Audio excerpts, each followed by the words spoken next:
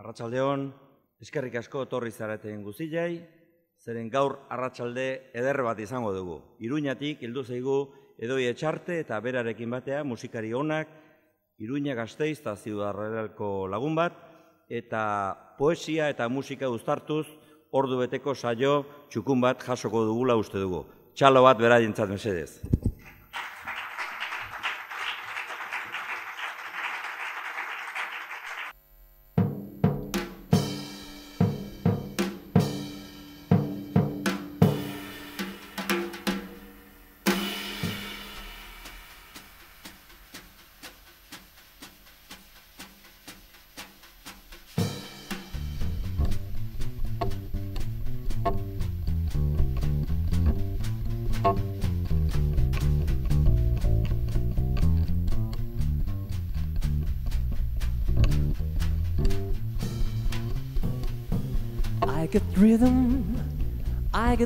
Music, I got my gal who could ask for anything more.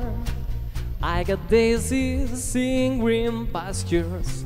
I got my gal who could ask for anything more. All my trouble, I don't mind him. You won't find him round my door. I got starlight, I got sweet dreams. I got my gal who could ask for anything more.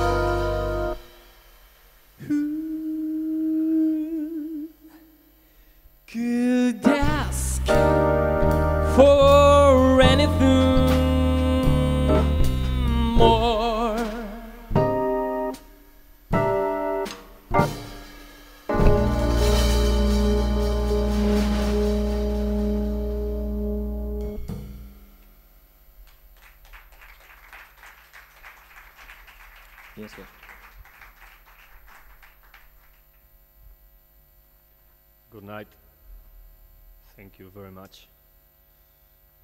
How are you doing, San Francisco?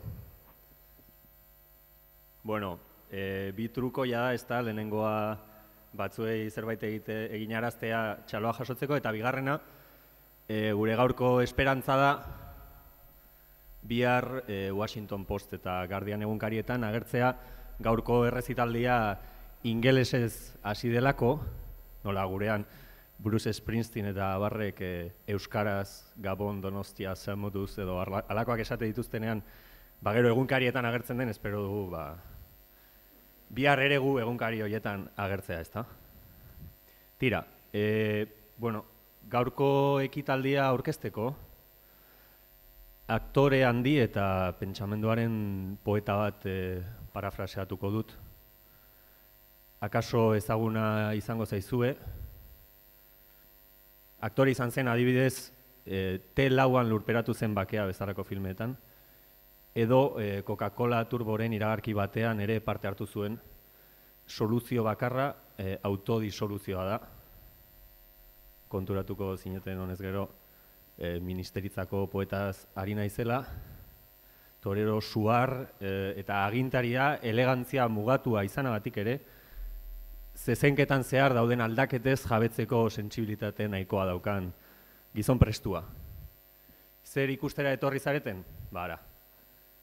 Galdetuko bazen idate gaur, atzo, baino lasaiago nagoen, zintzoki, baietz esango nizuek. Galdetuko bazen idate suzko liliaren emanaldi hau betierekoa izanen ote den, ezetz esango nizueke. Galdetuko bazen idate emanaldi hau ote den Espainiako gizarteak espero zuena, biribilki ez. Beste modu batean esan da. Notizia txarra alda gu eta zuek gaur hemen egotea? Ez. Ez da txarra, baina ez da notizia. Zuekin, Andoni Arcilla, David Ruiz, Asier Oleaga eta nineu e, edoi etxarte.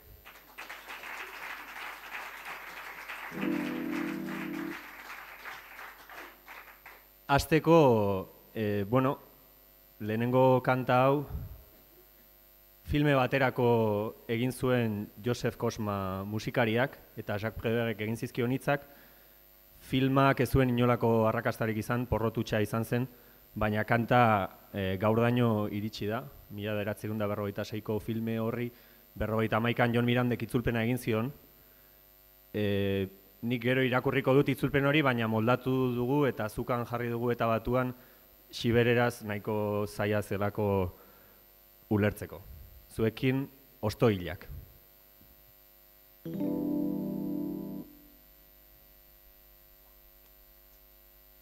C'est une chanson qui nous ressemble, moi qui t'aimais, toi qui m'aimais. Nous vivions tous les deux ensemble, toi qui m'aimais, moi qui t'aimais. Mais la vie sépare ceux qui s'aiment tout doucement, sans faire de bruit. Et la mer efface sur les sables le pas de son monde par vous.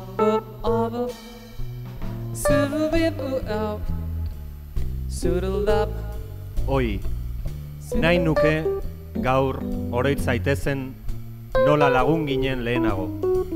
Ederragoa zen bizia orduan, eguzkia egun baino beroagoa. Ostoilak palarekin biltzen dira, so egin nik ez dut antzi. Ostoilak palarekin biltzen dira, oroitzapenak eta gurak baita ere. Eta iparaizeak ditu eramaten anzturaren gau hotzera. So egin nik ez dut antzi kantatzen zenidan abestia. Gure irudia den abestia da. Zuk ni maita, nik zu maita. Elkarrekin juntu bizi. Nik zu maita, zuk ni maita. Baina bizitzak bereizten ditu emeki bihotzak eta harinen ark kentzen maite horien urratsak. Ostoilak palarekin biltzen dira, oroitzapenak eta penak ere. Ene amodio isilak ahatik biziari dio eskertzen aleren. Maite zintudan, zu, hainen eder, nola ahaz zaitzaket. Ederragoa zen bizia orduan, eguzkia egun baino beroagoa lagun nestien azintudan, baina zertarako dut pena. Zuk kantatu abestia, sekula ez dut ahaztu.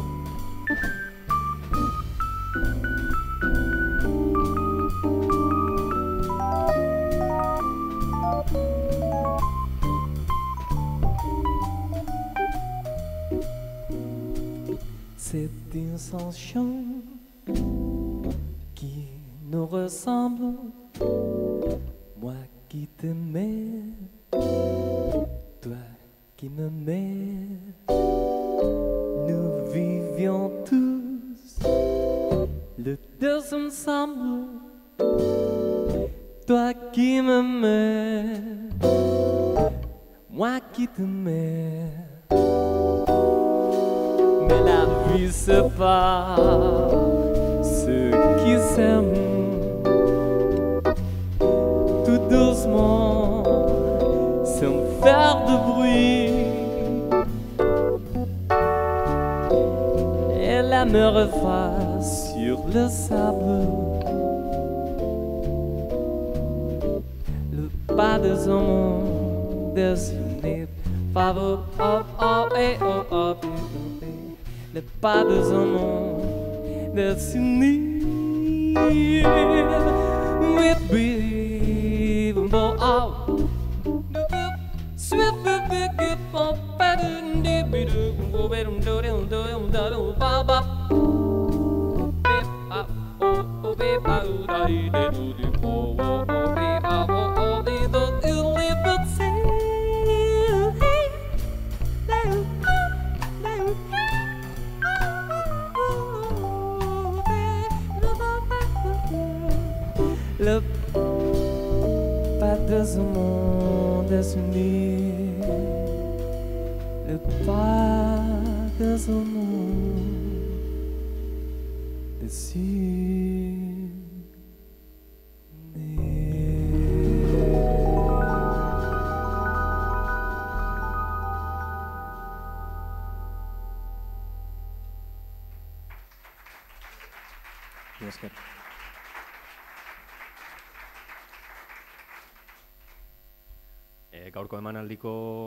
testu gehienak ordea eta agian zoritxarrez Suzko Lilia liburuan argitaratu ziren 2008an eta hoien artean hause. Ale bufle. Aturri ondoan dagoen kale bat. Zure begiak orraztuz, zure titiak arroztuz, zure uzkiak arrotztuz, ez zaitu danean. Zure begiak orraztuz, zure titiak. arroztuz, zure uzkiak arrotztuz, ez? Zaitu danean. Ez? Zaitu danean. Ez. Zaitu danean.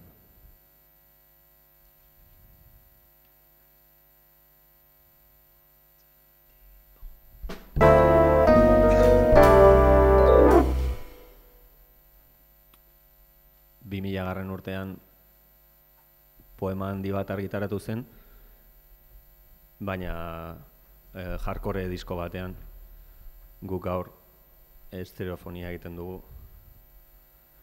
hor nonbait. Babesten zaituen pistola pistola berberak mehatxatzen zaitu. Elikatzen gaituen La misma Janari berberak. pozoitzen gaitu. Nos envenena. Bilatzen ditugun irtenbide berberak buscamos galduerazi nos pueden echar a perder. Ikustearazten gaituen argi berberak itxutu gaitu. Nos puede cegar. Ez badiogu neurria hartzen Si no aurrean medida dugunari, neurria honek hartuko digu. y Eta ibiliko gara atzetik, perdidos galdurik. Hor en algún lugar. Hor nonbait. Hor Or, nonbait. non-bait. Hor Or, nonbait. non-bait.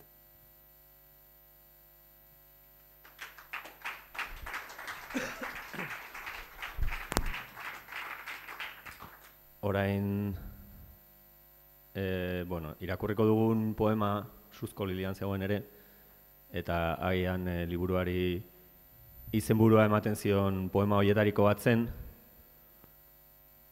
Hainbesteraino non e, batek pentsa dezaken e, ba, bateragarriak direla igandeak merkatalgunetan pasatzen dituzten horiek eta ba, suzko liliak grebagunetan botatzen dituzten horiek beraien hileroko soldataren gatik bakarrik bada ere, naiz eta gero batzuek ba, entzuten duten musika mota bat eta besteek beste bat, eta orduan hemen e, uztartu nahi izan dugu e, soldata berekoen arteko nol- nolabaiteko anaitasuna, kantau deitzen da xalala eta ba, hitz egiten du ba, gezortzi gehi hogei eta horrelako makrobileretan egon ohi diren liskarren inguruan dantzalekuko musika altzean duela.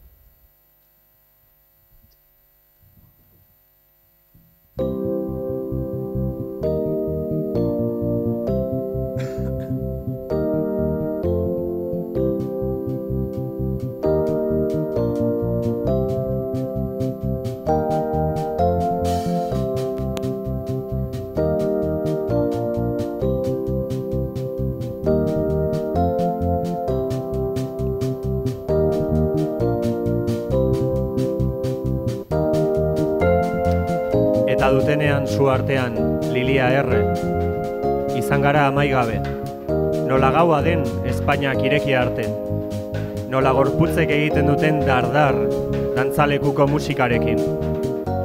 Eskuak altxatuko ditugu gurutze gorriak zaurituak daramatzanean, negar egin arazi nahi digutenean. Wir sind friedlich, was seid ihr? Xalala abestuko dizuegu biluzik. Ipur masaia mugituz, irribarre egiten dugun neskatilatxoak garelako. Eta gortina artean, dena jango genuke, kearekin nahaztuta. Etorri eta doazen argiekin apainduta. Arlauza hautsien gainean, oinutsik egiten dugu dantza. Lizunkeria dugulako azken helmuga. Eta dutenean zu artean lilia erre, izan gara amaigabe. Nola gaua den sakon, jositako begiak zabaldu arte. Nola gorputzek egiten duten dardar dantzalekuko musikarekin. Xalala abestuko dizuegu biluzik. Bizitza, mikatza da eta batzuetan goxoa ere bada. Berez, mikatza dela ahaztu ez dezagun. Bizitza mikatza da eta xalala abestuko dizuegu biluzik.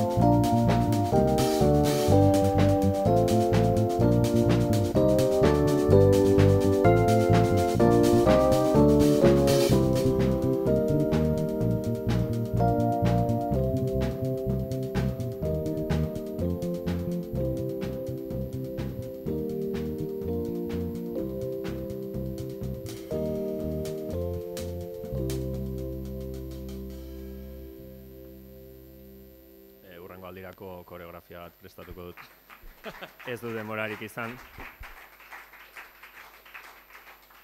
Baina ohartuko zarete gaur ari, ari bat dagoela horratzean, ez dizuegu argituko zein den.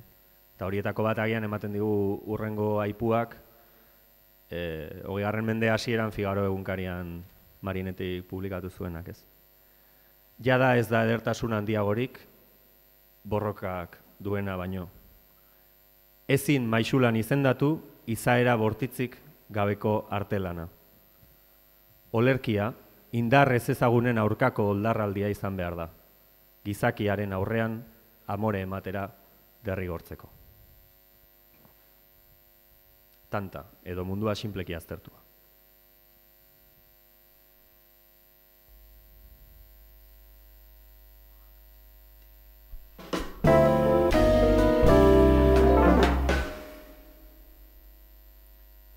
Ez du garrantzirik, esaiozu lindari. Espainiak josten dizkiotela, oean aske izateko. Azaldutako gauerdietan isil. Zoriontasuna tantez neurtzen da. Egarri denak tanta nahi du, ura. Egarri denak tanta nahi du, esperma. Egarri denak tanta nahi du, lezeko eztia. Gose denak tanta nahi du, zopa. Hotz denak tanta nahi du, butanoa. Ez du garrantzirik. esaiozu lindari. Espainiak betazalei jostean gaueko erregina zara. Lehoi artean misil. Gaizkizatea tantez neurtzen da. Je ne t'aime plus. Beldurdenak tanta du soberan, izerdia. Goibeldenak tanta du soberan, malkoa. Lortutako burutze oro besarkatuta. Eridenak tanta du soberan, jak, jak, zainera. Euridenak tanta du soberan, bestea. Pixuak itotzen ditu harriak eta ez haien koloreak.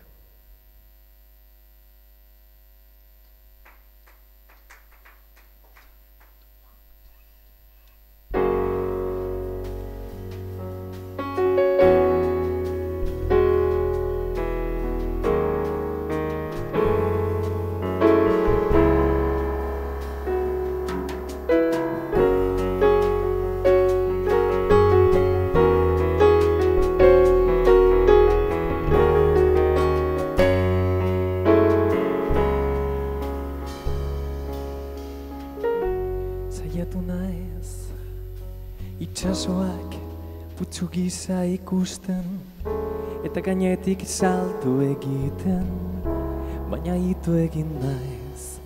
Satorren lurmeten gainetik ere egin dut saltu Baina belariek harriak jo dituzte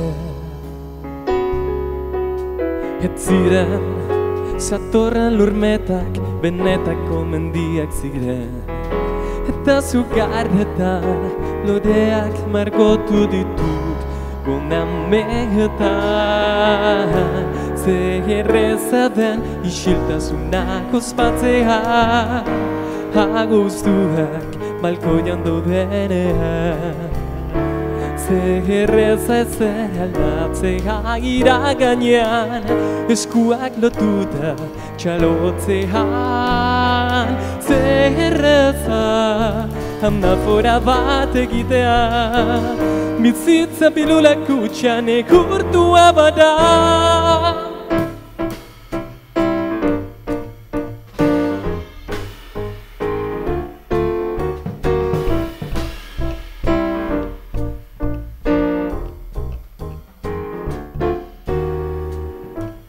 Ez dizut suetenik eskatuko.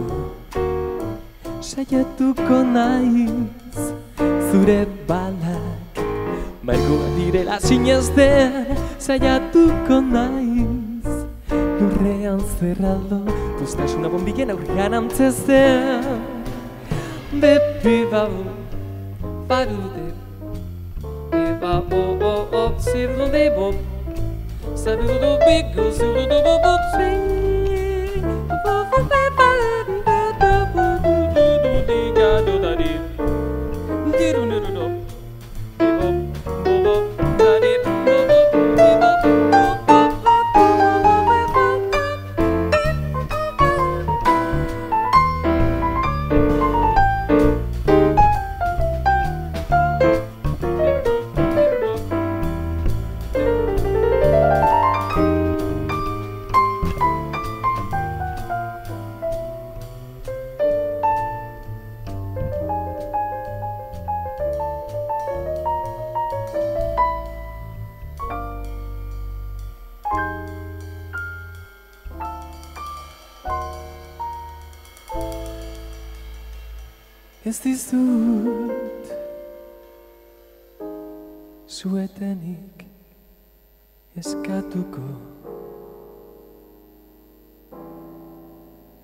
Zaiatuko naiz zure balak Markoa direla sinezten Zaiatuko naiz. Lurrean zerraldo Postasuna bombien aurrean Antzesten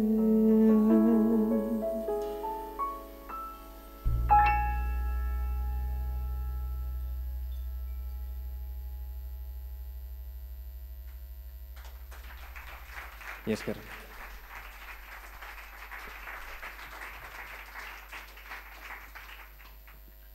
e, berez tele, teleberri baten nahiko egitura antzekoa dauka gaiei dagokionean guk e, hogei segundu hartu beharrean 6 minutu hartzen ditugu eta horregatik da luzeagoa Urrengo poemaren gaia, e, nolabait esatearren ekologia da oso zentzu zabalean, baina ekologiaren morrontza berri horiek, ezta?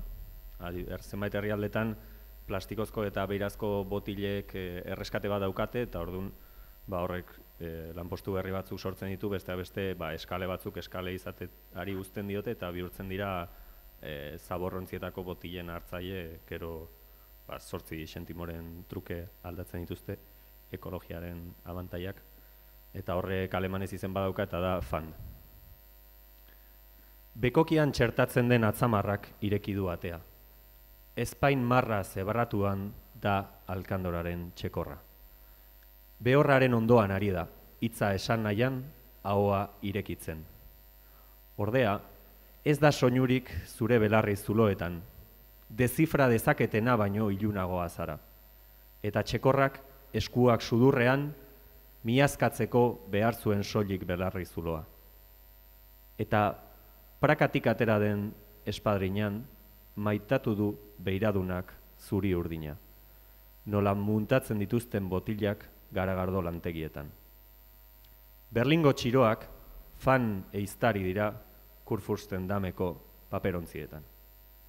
Eta altxatzea zen umeari, berunezko harritzarra bota diozue, ortografia bezala, zurrun. goraino doan arteriak, zain sortzaileak, daraman odololdea geldituko du.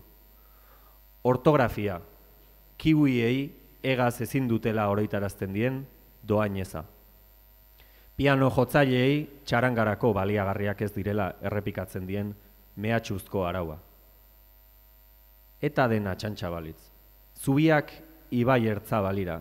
Urrundik begiratu nauen hile horiaren begik liskada neke kenua balitz.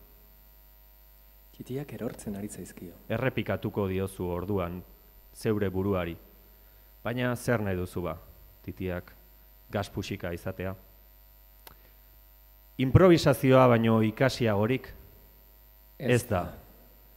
Askatasuna gidatzen duen legea baino mugatuagorik ez, Ez da. da. Gezurra baino karratu horiagoak triangelu beltzak dira soilik. Barnean dutenean eguzki estilizatua.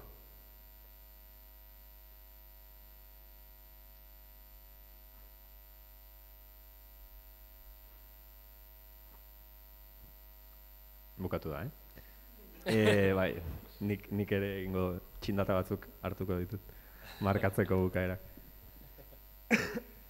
e, urrengo poemak berez e, bi urte ditu, baina uste dute gaur, ez dut esango hemen, baizik eta gaur, e, oso egokia izan daitekela, okindegietan eta entzuten den gai hori ez da. E, nor ez da Tunisian egon, nor ez da Egipton egon, eta subenirrak erosi, jendea ze atxeina den egiaztatu, eta hori guztiak, ez da? Orduan, ba, ba, gaur bereziki Tunisia eta Egipton eh, egon diren turista hoiei eskainiko diogu turista olerkia, zein ikusiko duzuenez eh, hizkuntza ezberdinetan eh, eraikia dagoen. Turista. Turista. Être décalé. Superficial sin causa. Artista de la mala comprensión. Ah, es que pensaba... Pseudoaventurero. Autoritario lingüístico. Cool exterior. Reaccionario interior. Jo, qué interesante este proyecto. En mi ciudad votaré para impedirlo. Sonriente especulador temporal. Contaminador aéreo. Me pilló un viaje para cuatro días a Rumanía en octubre. Estigmatizador. Aplicador de estereotipos en la nueva realidad desconocida. Son súper cuadriculados. Ingeles ustelaren ezartzaile amairu bokal ditu, baina euskara baino asko zerresagoa da. Ñabarduren suntsitzaile, brain watched. Superficial sin causa, turista, eres un terrorista. Turista, eres un terrorista. Turista, Turista, eres un eres un terrorista. terrorista.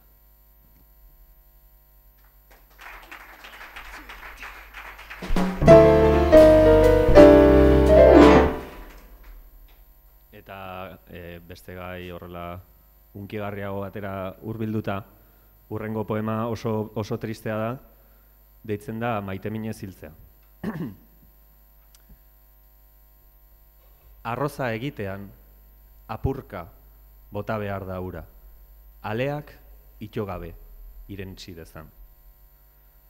Maitasunean, hazi guztia jario behar da, maitaleak ezin dezan dena irentsi. Ito dadin. Norbait, maite minez hildela entzutean, sinusitia duen eta hoa espermaz bete dioten gajoa irudikatzen dut.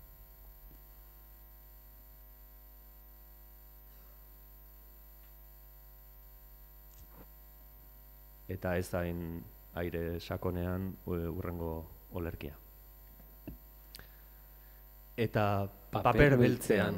beltzez idatziko dizut nire telefonoa. Eta musu traketsa emango dizut gau ilunean.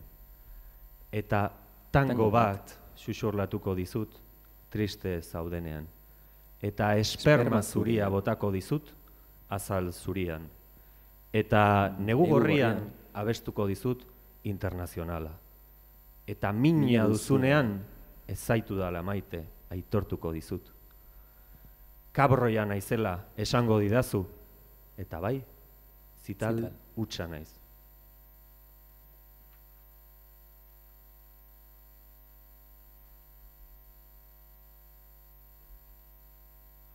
Ikusirik bersoa duten arrakasta. E, bai, zuzenean ja benetan gai tragikoetara joko dugu, e- ez da kasualitatea poema horrein etortzea, ambulantziak deitzen da, eta, bueno, gaur, otsaiak zazpi egun historikoa da, e, niraitaren urte betetzea delako, eta hemen zuen artean dagoelako, beraz, aitorri eskenia urrengo poema eta kantua. Ambulantziak. Euriak janzten zituen adatsak Victor Gresson kalean. Berandu zebiltzanek soilik egiten zuten korrika trumoipean. Tanten amaiera itxaroten ari nintzen horretan, ez zintudan busti nahi, balkoitik behera begira. Ambulantziak dira maitale finenak. Beti bueltatzen dira zauriturik, sendatuko dituen larrialdi tunelera.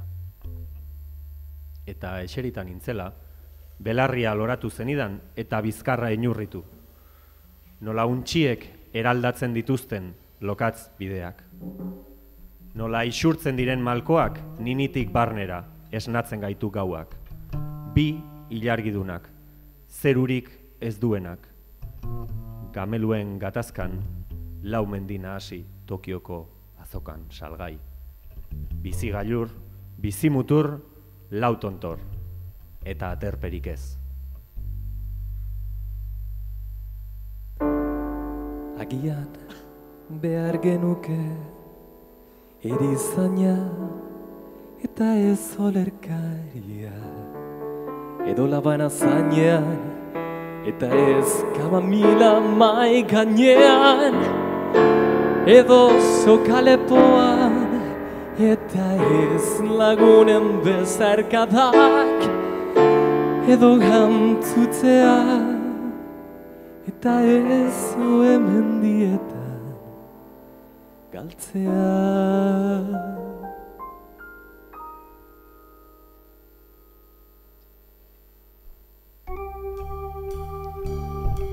Ambulantziak dira maitale fidelenak. Gasolindegietara doazenean eta helmuga urrunetan daudela ere beti bueltatzen dira. Ambulantziak dira izarretako zinemak, gazela neka ezinak. Neguan ere lorik egin gabe eizan dabiltzan hartzak, itxaropen argiak. Ambulantziak dira, haizeak, adar guztiak zartatzen dituenean ere, eta garabiek ehun eta hiru metroko berogailuak eraikitzean ere, ambulantziak dira, gauero gonapetik datozen, bidaiari itxuak, gona, itxuak.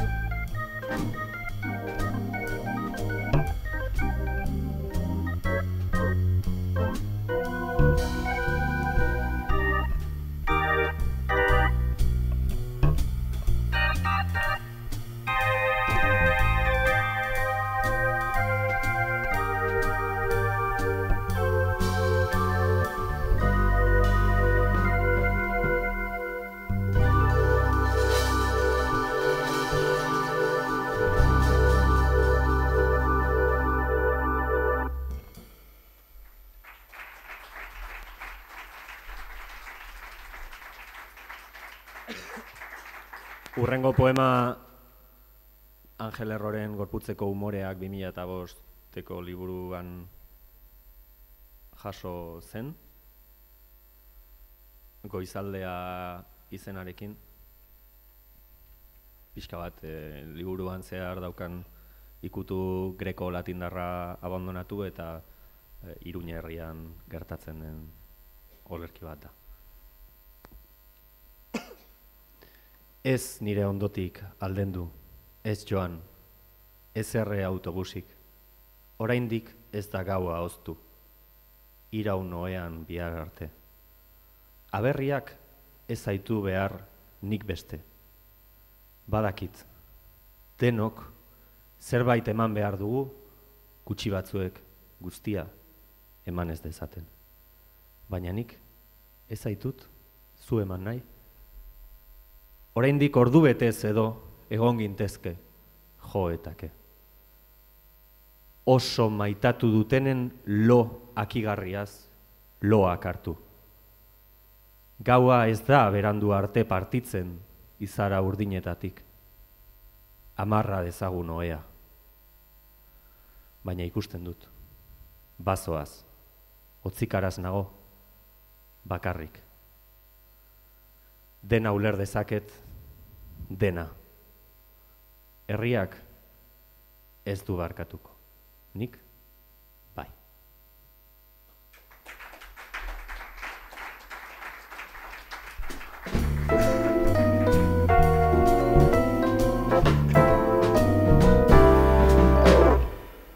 Gero eta gehiago gustatzen zait eh, telebista saioaren ukitu hau eh, kortinilla hauekin. Urrengo poema e, bueno, Durangon egin zen kontzertu baten ingurukoa zen eta e, disketxe baten e, promozio olerkia da, naiz eta imaginatzen dudan e, disketxak berak ez duela nahiko poema hau e, ba, bere disketxa promozionatzeko. Bide hutsa deitzen da. Aize burrumba zen etxean eta itxinuen atea, baina korrontea zen pasabidean. Eta itxinuen leio bat eta beste bat. Baina aize burrumba zen etxean eta itxin izun ahoa eta hankartea. Baina korrontea zen pasabidean. Eta itxinituen begiak eta ahoak, baina aize burrumba zen etxean eta itxinuen bihotza eta desagertu zinen eta joan zen aize burrumba.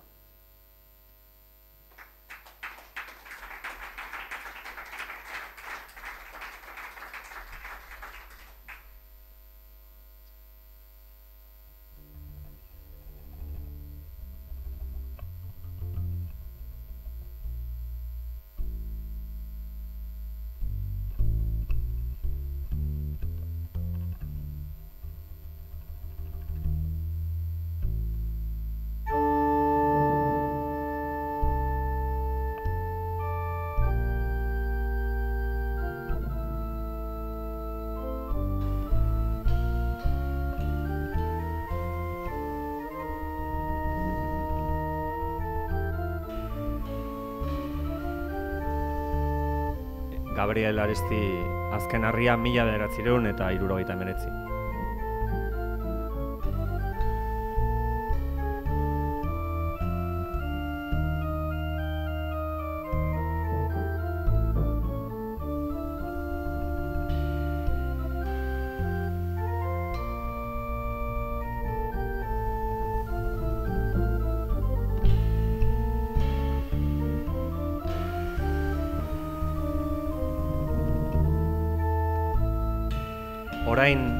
Elizara ez joatea, ez da nahikoa.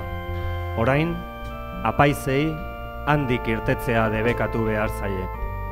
Eta irtetzen badira, kondizio honekin, beren jantziak, hitzak, liturgiak eta jainkoa barnean utz dezatela. Orain Elizara ez joatea, ez da nahikoa. Eta Elizaren lekuan uler daitezela gauza asko. Orain apaizei handik irtetzea debekatu behar zaie. Eta irtetzen badira kondizio honekin. Beren jantziak, hitzak, liturgiak eta jainkoa barnean utz dezatela.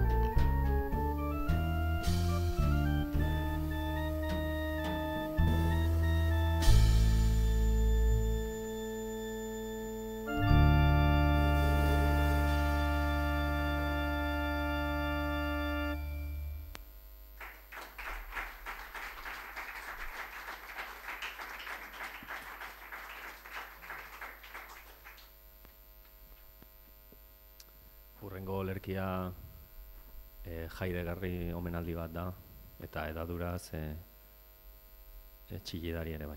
Beharra eta gogoa. iristean esan zenidan.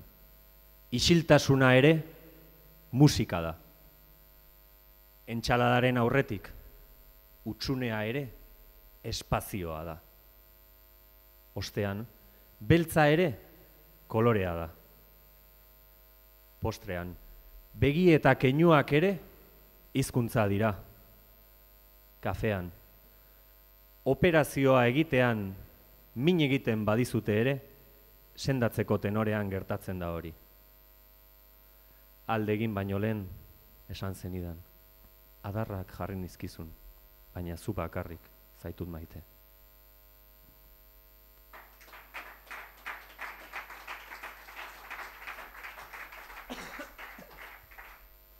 Eta urrengo joko txikia gospelerako kantu bat da, e, libre zarete nahi baduzue zuek ere parte, parte hartzeko. Ez dut etxerik nahi, Ez dut nahi. etxeak teilatu esan nahi badu. Ez dut nahi. Ez dut konpromisorik nahi, Ez dut nahi.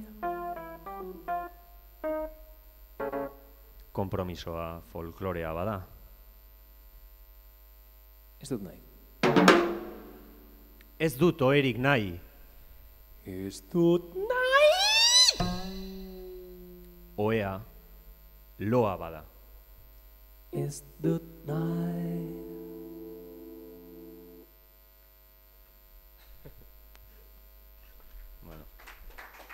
Ikusi dut ez are- ez aretela oso ez aretela oso ausartak. E, urrengo poema urrengo poema pixa bat ausarta da egia esan eta horren froga gaur arte ez, ez dugula publikoki irakurri besteak beste ez egoelako idatzia. Erdipurdiko pertsonen kanta deitzen da. Gezurra da, ezberdinak izan nahi dugula. Erdipurdiko ereduen kopia estandarren ahalik eta antza handiena izaten alegindu gara. Garenaz ase eta zoriontsu. Ez gara, gu baino ederragoen ondoan luzaroan gelditzen. Ez da gure itxustasuna desbideratzearren ere. Gure klon zarpaila nahi dugu alboan. Gu bezain gutxi dakiena, sukaldeaz eta liburuez. Gure enfasi maila markatzeko, bi aldaera ditugu. Adjektiboen aurrean oso jartzeko aldaera piztua, eta adjektiboen aurrean oso jartzeko aldaera itzalia. Kalean eta tabernan inork gehiegi begiratu ez gaitzan, ez gara isilik egongo, ez da gehiegi beroa egingo, beste bikoteekin ditugun hitz trukeetan. Eta bueno, orain datorren zatia berez e, bals e, moduan kantatu behar genuen, baina ez dugu astirik izan prestatzeko, eta hau izan behar zen. Elkar maiteko dugu baina neurrian, elkar maiteko dugu baina neurrian, gure bikoteak ez du mundua saldatu nahi, gure bikoteak ez du mundua aldatu nahi. Iletara goazenean egingo ditugun malkoek ezingo gaituzte ito. Une irrigarrietan ez dugu luzaro egi, ez altuegi, barre egingo. Zorion txuegi garela ez dadin nabari, ez garelako, soberan ere. Bikotekideekin, maitaleekin soilik egingo dugu txortan, ez gaitezen sutan erre. Hildakorik gabeko gatazkan, kerik gabeko tabernan. Elkar maiteko dugu baina neurrian, elkar maiteko dugu baina neurrian, gure bikoteak ez du mundua asaldatuko, gure bikoteak ez du mundua aldatuko.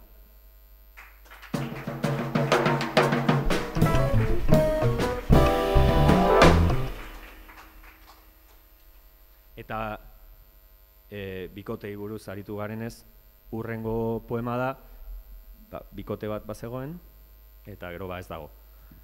Eta orduan e, deitzen da aita bananduak. Eta e, egia esan daramagun hildoarekin harrigarria badirudi ere, poema honek e, ironia gutxi du, e, oso gai serioa iruditzen baitzait. Aita bananduak.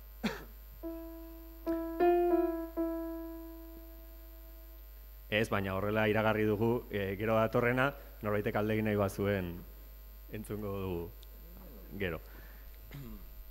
Orain, aita bananduek ezin dituzte seme alaben opariak hartu eta jatetxe goxoetara eraman, maipean ezkutatu, ezin dute haien errua ordaindu eta errebolta kulinarioa hamburgartegietan eta pizzerietan erakutsi.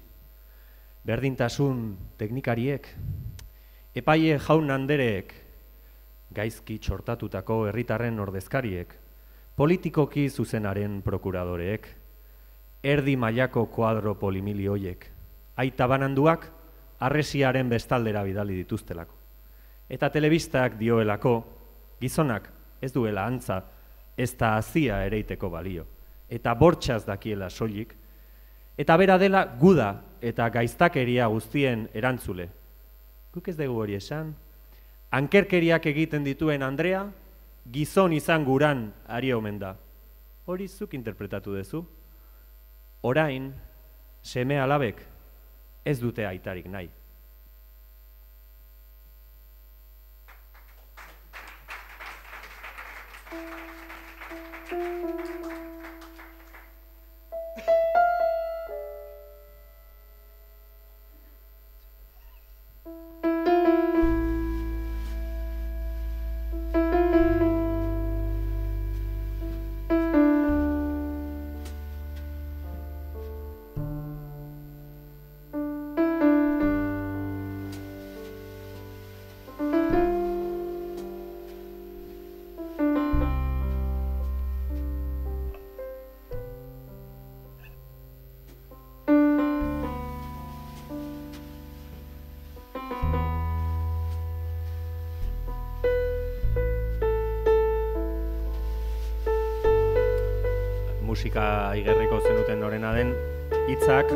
E, arkaitzkan norenak dira kea belainopean bezala liburukoak.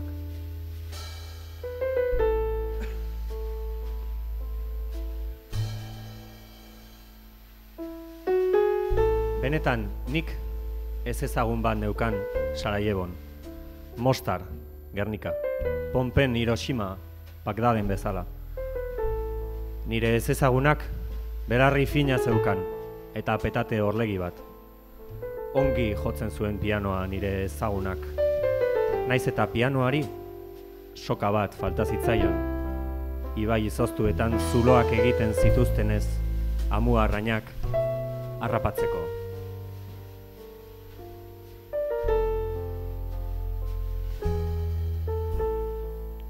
Benetan, nik lengusu txiki bat neukan Sarajebon.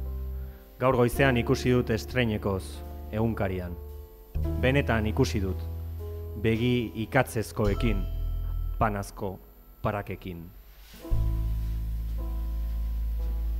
Nire lengusuak aipatu dit gizenduta oten agoen, kezkaturik dabilela bolada honetan. Eta ea hemen ere, amu arrainak, bihotzik gabe jaiotzen diren. Sorbaldaz keinu bat egin diot, ez dakidala. Amu arrainena alfa edota omega izan daitekela. Atorraren azken botoia ondo lotuz gero, ez duela inork bihotza lapurtuko dion beldurrik izan behar.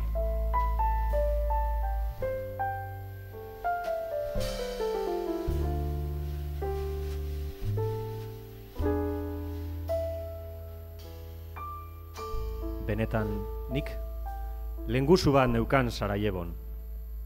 Eta negarrez hasi da edo negarra hasi du guk garagardolata bat hasten dugun bezala. Eta negar egitean beitu egiten zaizkigu begiak pianoaren soka zeukan lepoan biribil. Espainik gabe hitz egiten zidan, anaia maitea ez dik merezi. Hemen, aspaldi honetan pianoek ezkilen soinua jotzen besterik ez ekitek.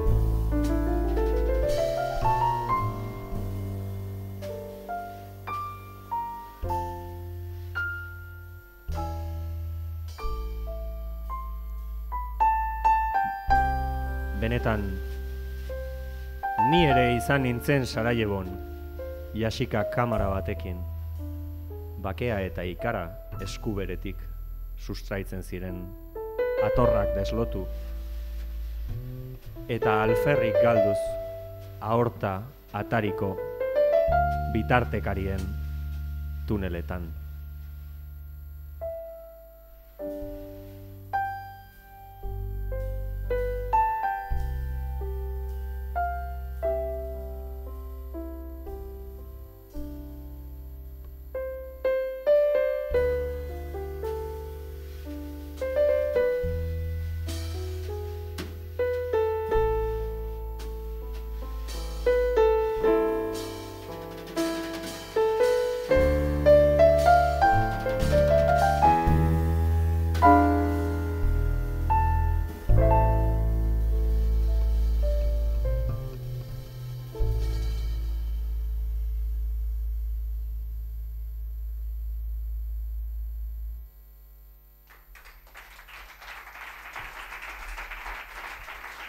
Mi esker.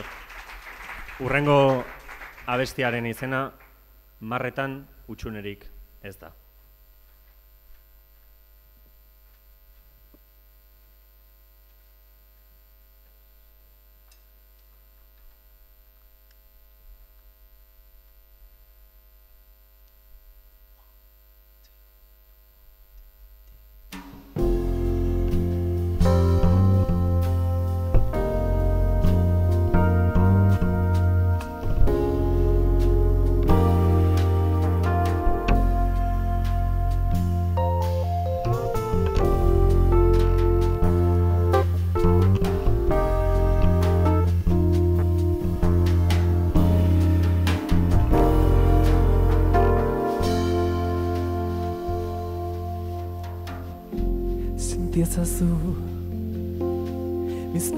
Bizpirez darrian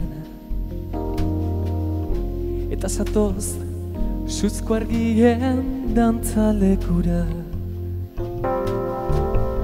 Sentiezazu Zizjordania Autobusean Birikak belarriketan lehertzean. Sentiezazu Utsa begietan Zapatak busti Zaizkizula Sentiezazu Ben berrogeita amabiak Eta Newtonek bidaltzen dizuten Askatasuna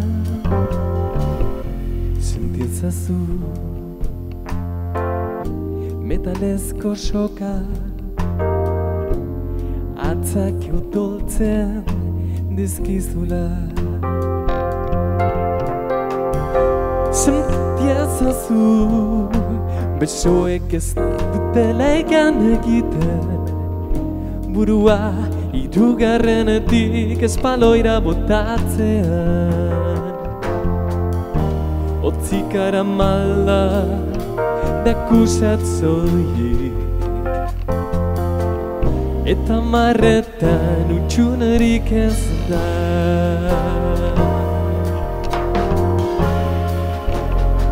Utxunerik ez da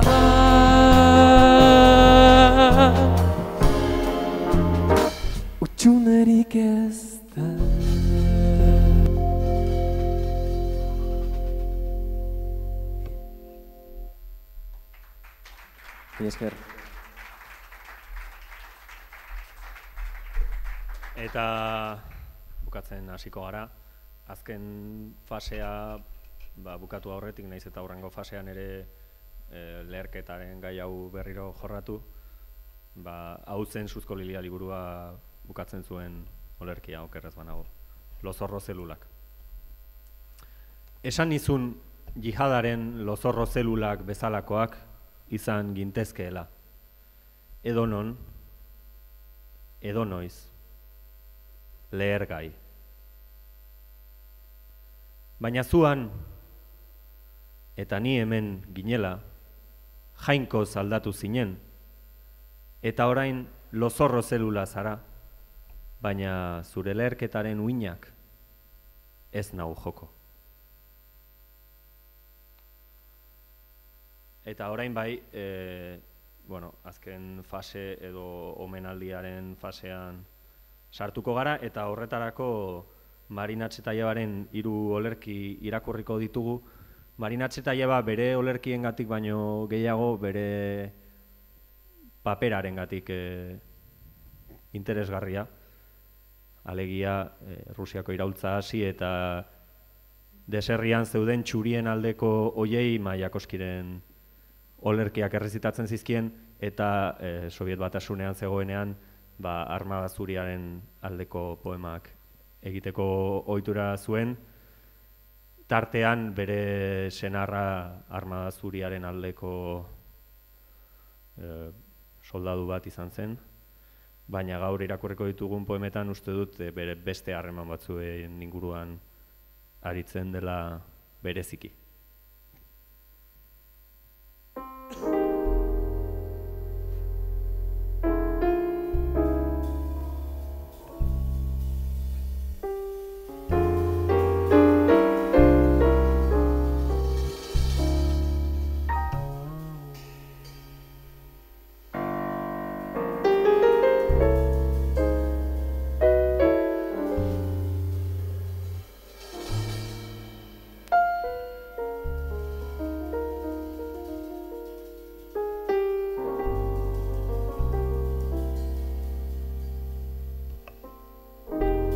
Pentsatzen, ez naiz kesu, ez naiz borrokatzen, ez talorik egiten. Ez dut desio, ez eguzki, ez ilargi, ez itxaso, ez da itxasontzirik. Ez dut sentitzen nola egiten duen bero, murru hauen artean. Nolakoa den berde lorategia, eta opari hau, hain desiratua, hainbeste itxarondakoa, ez dut jada espero. Ez nau posten, ez goiz honek, ez zarata alaidun tranbia honek, eguna ikusi gabe bizi naiz, mendea, urtea eta ordua ahaztuaz. Soka karraskatuan bezala dantzan nago, dantzari txiki, itzalaren itzala naiz. Ilar gitarra naiz, bi ilargiren itzala.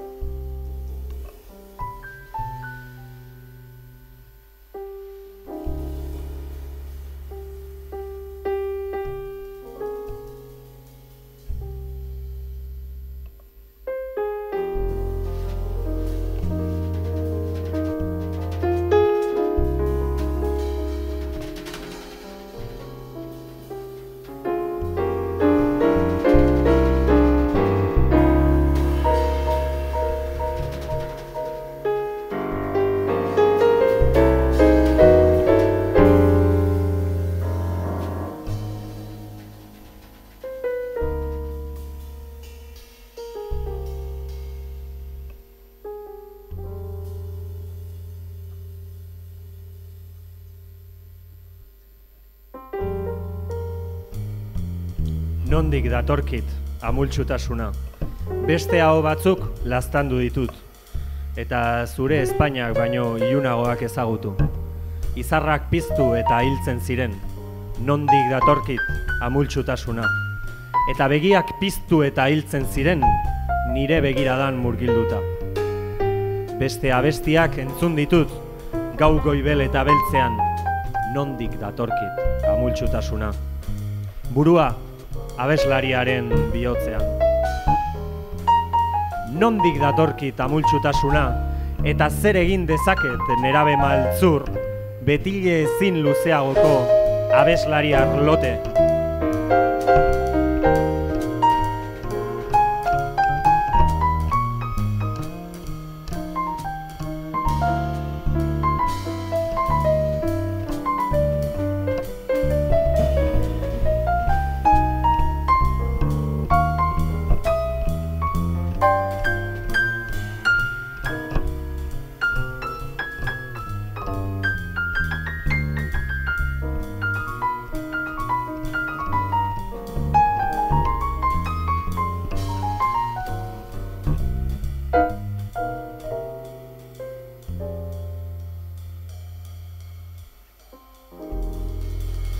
Gauak maite dugun hori gabe.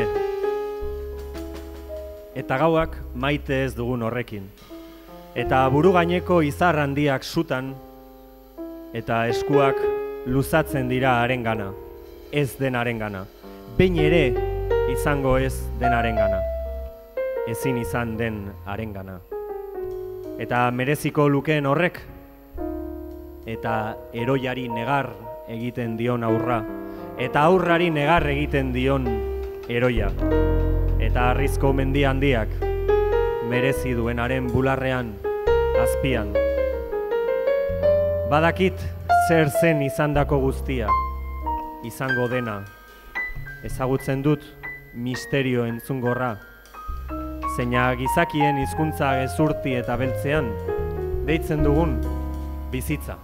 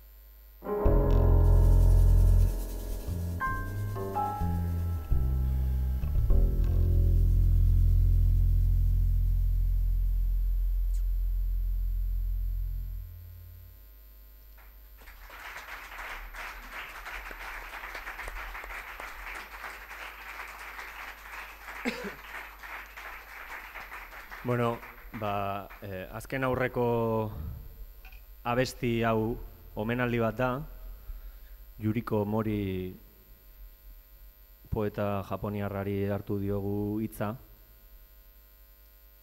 Ilabete honen hogeita seian, hogeita bost urte beteko dira, ja da. E, kanta hau milaka eta milioika lagunek entzun zutena.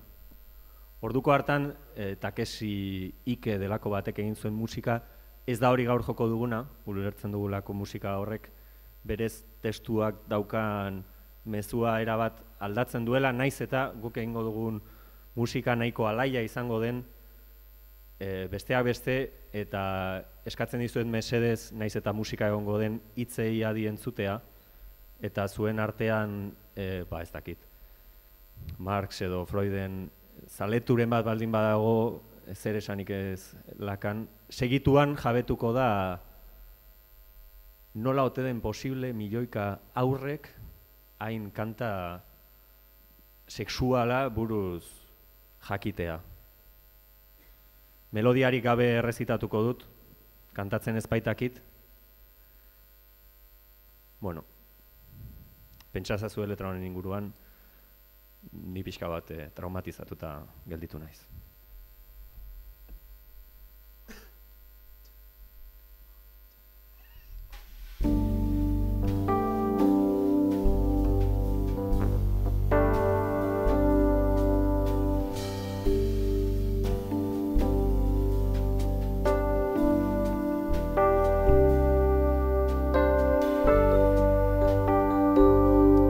Gabe doa, balizko bosgarren e, internazional lortarako e, letra hau proposatzen dudala.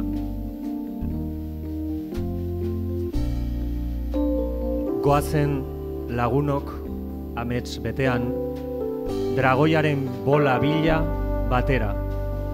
Orain badakit nongo zuloan dagoen altxorrik ederrena.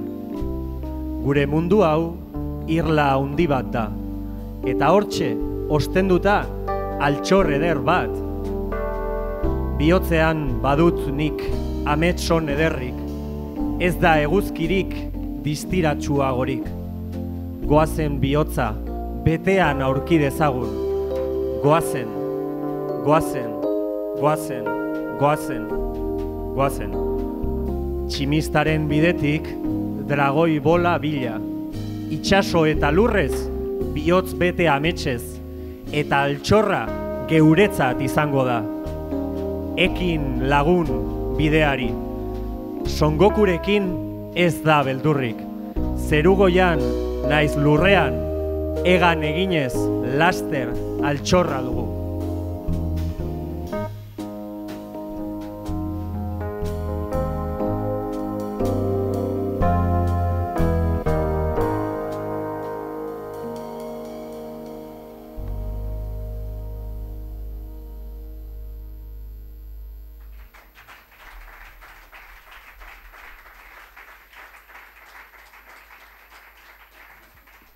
Orain bai, asmatzen badut, bukatzeko, e,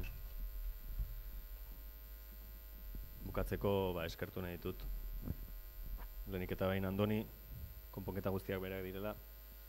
David, kontra batxu guztiak bereak izan dira gaur. Eta hasier baterian, baita ere perkusio guztia berak egin du. Eta, e, bueno, ba, froga erantxia niretzat, atril bat gutxiagorekin.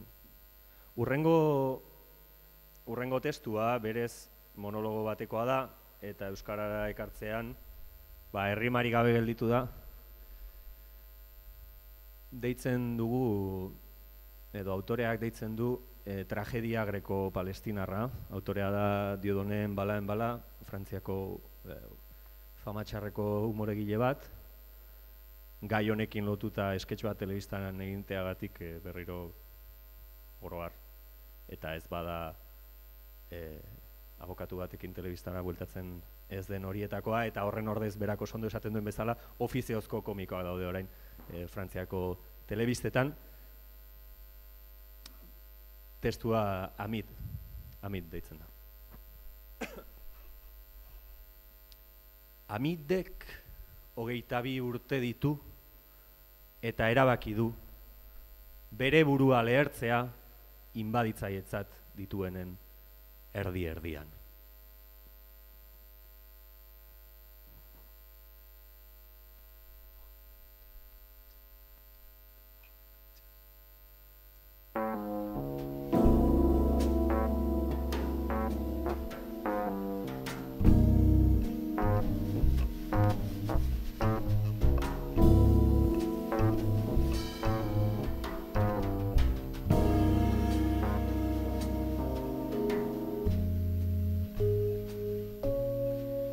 Mediterranearraren ertzontan jaioa naiz. Paradisu eguzkitsu honetan. Palestina, Palestina, hemen daude nire aita, nire aitona, eta aurreko guztiak lurperatuta. Zure lurraren mamian, Palestina. Han, suntxitutako etxe hartan, olibondoen zelaiaren erdian, han, abestu genuen irri egin, dantzatu, unkitu ere. Ijito gitarra honek bezala, bihotzeraino atximurkatuak, loreak bezala jasoak. Negar ere egin genuen negar. Zaila da azaltzen, zergatik gauden leku batera lotuta, armada batek zurean lehorreratzen duen arte.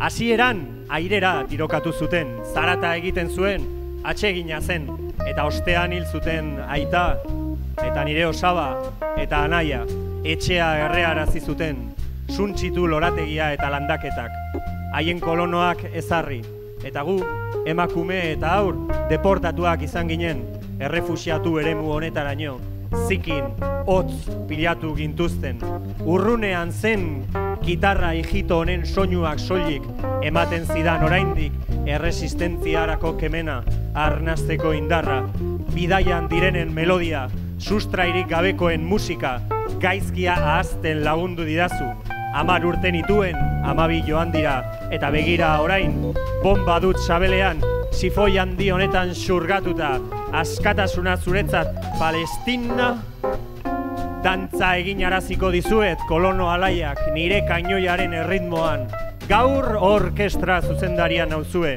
nire nota denboraren arekin bat doa, hijito doinu hau zeinaren gainean itzulipurdiak egiten ditudan, tximeleta alegeraren antzera.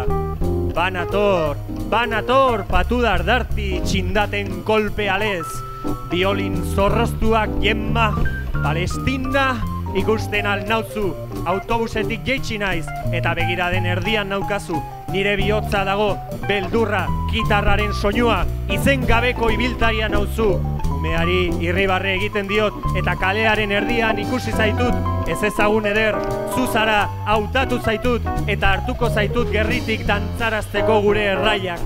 Hemendik entzuten ditut atzonek sortutako izu oiuak, isiltasuna urratzen.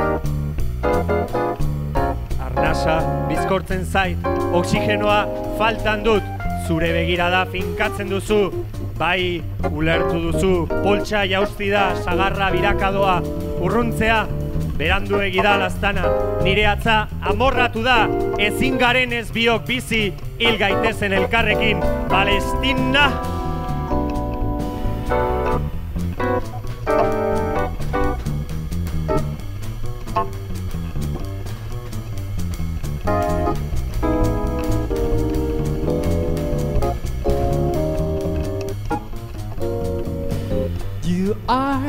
Promised kiss of springtime that makes the lonely winter seem long.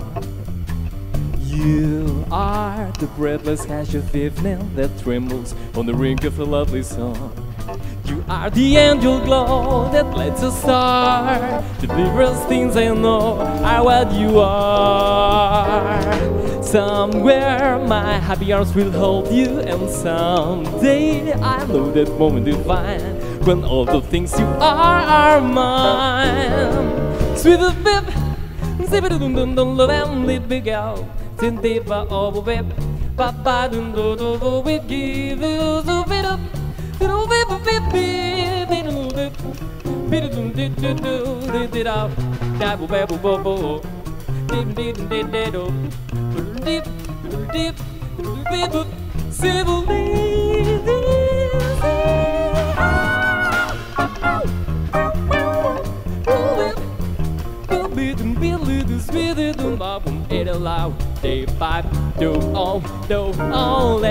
When all the things you are are mine.